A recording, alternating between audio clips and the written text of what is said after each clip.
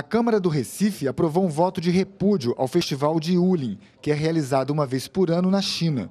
O requerimento de autoria da vereadora Gorete Queiroz condena as atrocidades que se cometem contra os animais com a execução de milhares de cães. O festival mata de 10 a 15 mil cães e gatos para que o público consuma as carnes desses animais, inclusive cometendo crimes de direitos tutoriais. É, esse festival surgiu da crença de que a carne de cachorro, quando consumida durante o verão chinês, traz boa sorte e saúde.